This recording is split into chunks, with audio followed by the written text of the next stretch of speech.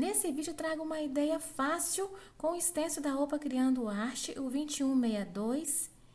E tô utilizando também um bolso de calça jeans. Fiz ali uma alça com o retalho do próprio jeans. Será um porta-celular, aquele que a gente coloca para carregar o aparelho, sabe?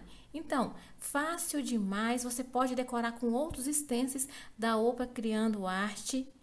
Pode utilizar, vender, presentear.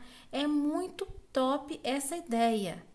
E você ainda aproveita aquela calça jeans que está guardada há tempos. Deixa aí o seu like, seu comentário. Eu sou Flávia Martins, artesã parceira da OPA Criando Arte.